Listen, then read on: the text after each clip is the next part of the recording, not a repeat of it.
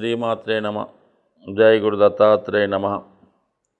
ఈ వీడియోలో మనం డిసెంబర్ ఇరవై ఐదు నుంచి జనవరి పంతొమ్మిదవ తారీఖు మధ్యలో వృశ్చిక రాశిలో సంచరిస్తున్న శుక్రగ్రహ ప్రభావం ధనుసు రాశి వారి మీద ఏ విధంగా ఉండబోతుంది అన్న విషయాన్ని మనం ఈ వీడియోలో పరిశీలించే ప్రయత్నం చేద్దాం. ముఖ్యంగా శుక్రుడు ధనుసు రాశి వారికి పరమ శత్రుగ్రహం అలాగే విరోధ గ్రహం అవటం వల్ల శుక్రుడు ఎక్కువగా ఈ జాతకుడికి కష్టాలు కలిగించే ప్రయత్నం చేస్తుంటాడు. అయితే తన రాశి కారకత్వాల ద్వారా మంచి స్థానాల్లోకి వచ్చినప్పుడు మంచి ఫలితాలు ఇవ్వడం జరుగుతుంటుంది.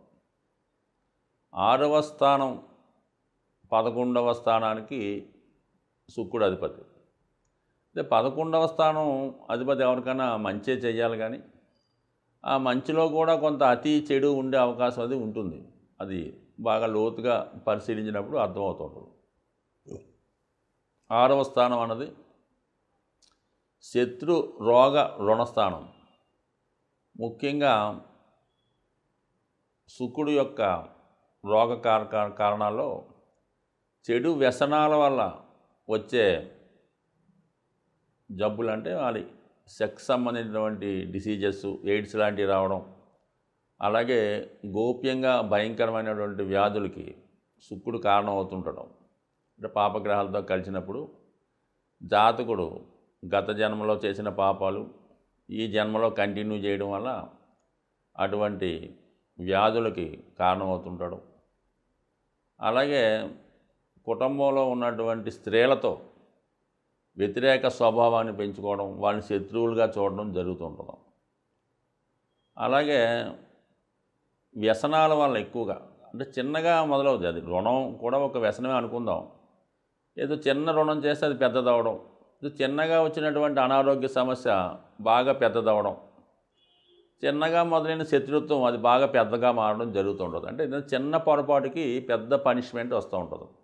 అందుకని ధనుసు రాశి వారు దేన్ని కూడా నెగ్లెక్ట్ చేయకుండా అది ఏదైనా ఒక వ్యాధి ప్రారంభమైనట్టే దాన్ని బాగు చేసుకోవడం కానీ ఎవరితో అన్న శత్రుత్వం మొదలైతే అది పెరగకుండా మంది తప్పైనా వాళ్ళది తప్పైనా ఏదో విధంగా రాజీ చేసుకొని శత్రువుని పెంచుకోకుండా చూడటం. జీవితంలో ఎప్పుడు కూడా రుణం అన్న చేయకూడదు.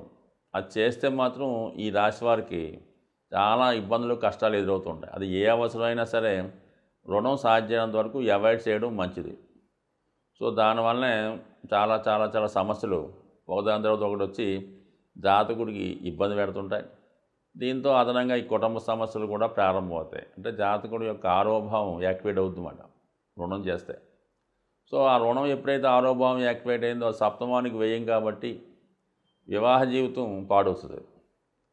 దశమానికి భాగ్యం కాబట్టి ఉద్యోగంలో చికాకులు ఏర్పడుతుంటాయి.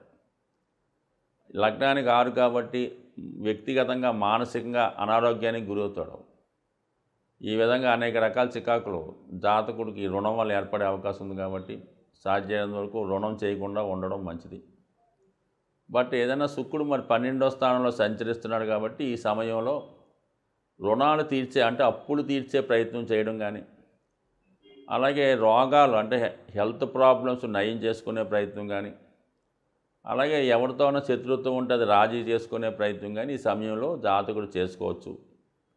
అలాగే లాభాధిపతి వ్యయంలో ఉండడం వల్ల ఏంటి? వచ్చిన ధనాన్ని ఈ విధంగా ఖర్చు పెట్టాలి. ఏదో మంచి కార్యక్రమానికి ఖర్చు పెట్టుకుంటే ఈ విధంగా జాతకుడు తను చేసిన తప్పుల నుంచి అవ్వచ్చు. గత జన్మ చేసిన ఇబ్బందుల నుంచి ఈ సమయంలో బయటపడే అవకాశం ఉంది. తప్పనిసరిగా మరి ఈ శుక్రుడు యొక్క అనుగ్రహం ఈ రాశి వారి తప్పనిసరిగా ఈ సమయంలో పొందడం అవసరం. దాని కొరకు శ్రీ సూక్త పారాయణ చేయడం కానీ అది గోదానం చేయడం వల్ల కానీ గోవుకి సేవ చేయడం వల్ల కానీ లేదంటే గోశాలలో ఏదన్నా మీ యొక్క స్థితిని స్తోమతను బట్టి వాటికి ఏవైనా ఫీడింగ్ ఇవ్వడం కానీ చేస్తే మంచిది. మరి శుక్రుడు పన్నెండవ స్థానం అయినటువంటి విశాఖ అనురాధ జ్యేష్ఠ నక్షత్రాల్లో సంచరిస్తాడు. ఉచ్చిక రాశిలో అన్నది కుజుడు కాబట్టి భూముల మీద స్థిరాస్తుల మీద పెట్టుబడి పెట్టచ్చు. భూములు కొనే ప్రయత్నం చేయొచ్చు. అలాగే గురు నక్షత్రం అయినటువంటి విశాఖలో సంచరించినప్పుడు ఆలోచన విధానం అనుకూలంగా ఉంటుంది. షేర్ మార్కెట్లో కలిసి వస్తుంది. మీ యొక్క టాలెంట్కి తగిన గుర్తింపు రావడం జరుగుతుంది. సో అలాగే మీ యొక్క సంతానం కానీ మీ శిష్యులు కానీ మీ ఫాలోవర్స్ కానీ మీకు అనుకూలంగా ఉంటారు. శని యొక్క నక్షత్రం అనురాధ మీద సంచరించినప్పుడు శని కూడా ధనుసు రాశి వారికి అనుకూలంగా ఉన్నాడు కాబట్టి కుటుంబ విషయాల్లో కొంత అభివృద్ధి పెరుగుతుంది ఆదాయం పెరుగుతుంది నూతన ఉద్యోగ ప్రయత్నాలు ఫలిస్తాయి. ఉద్యోగంలో కొత్త వారితో పరిచయాలు ఏర్పడి వాళ్ళు మీకు మీ వృత్తిలో అభివృద్ధికి సహకరించే ప్రయత్నం చేస్తారు. ఇక బుధుడి యొక్క నక్షత్రం జ్యేష్ఠలో సంచరించినప్పుడు ఆల్రెడీ బుధుడు రాశి అందే ఉన్నాడు కాబట్టి తెలివితేటలకి పెరుగుతాయి. నూతన వ్యాపార ఆలోచనలు చేస్తూ ఉంటారు. అలాగే అదనపు ఆదాయం కొరకు చేసే ప్రయత్నాలు ఫలిస్తాయి. ఇది విద్యార్థులకు అనుకూలంగా ఉంటాయి. అంటే మొత్తం మీద గురువు సంచరించే మూడు నక్షత్రాలు అనుకూలంగా ఉండడం అంటే విశాఖ అనురాధ జ్యేష్ఠ.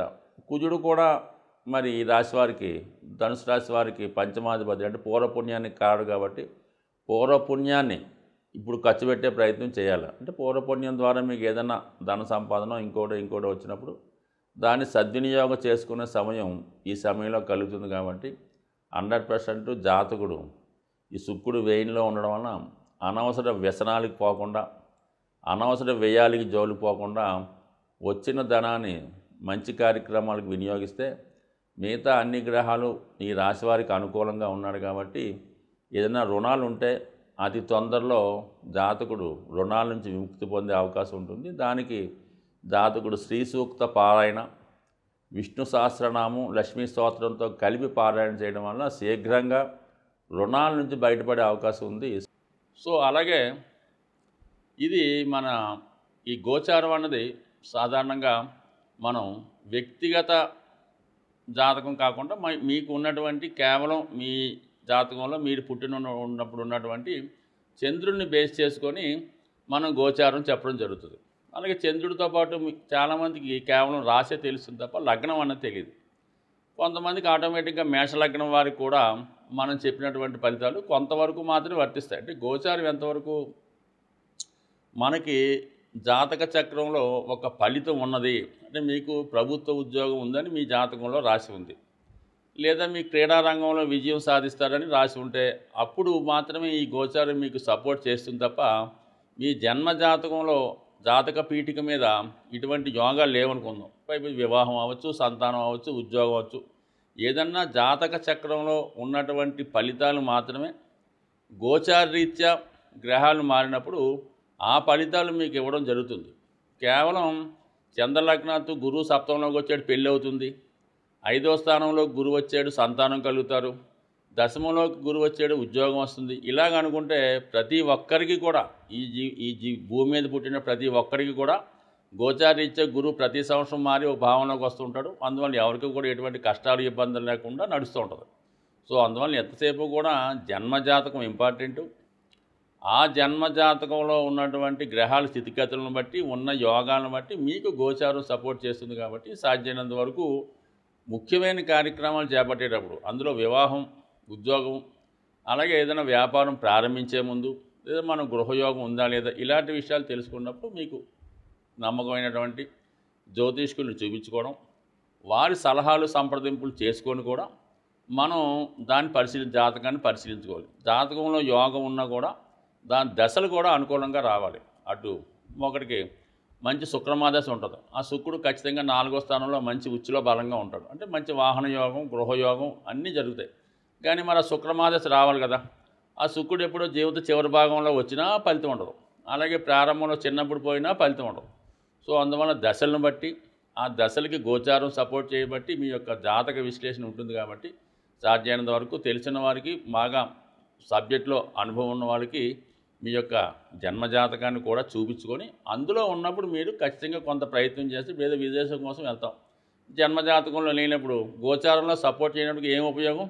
ఎన్నిసార్లు వెళ్ళినా కూడా వచ్చింది వచ్చినట్టే వెనక్కి ఫెయిల్ అవుతుంటుంది ఊరికే మనీ వేస్ట్ అవుతుంటుంది. సో ఆ కారణం వల్ల జన్మజాతకం ఇంపార్టెంట్ బట్ ఏదైనప్పుడు కూడా జన్మజాతకం బాగుండాలి దశలు బాగుండాలి గోచారం బాగుండాలి. ఇవన్నీ బాగున్నప్పుడు మాత్రమే జాతకుడు తన జాతకంలో ఉన్నటువంటి యోగాలు అనుభవించి మరి వాళ్ళ యొక్క జీవితంలో ఉన్నత స్థాయికి వెళ్ళే అవకాశం ఉంటుంది స్వస్తి.